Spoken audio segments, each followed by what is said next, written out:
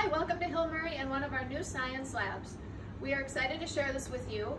Uh, we have 20 AP, CIS, and honors courses available for students, so students can start earning college credit as early as their freshman year.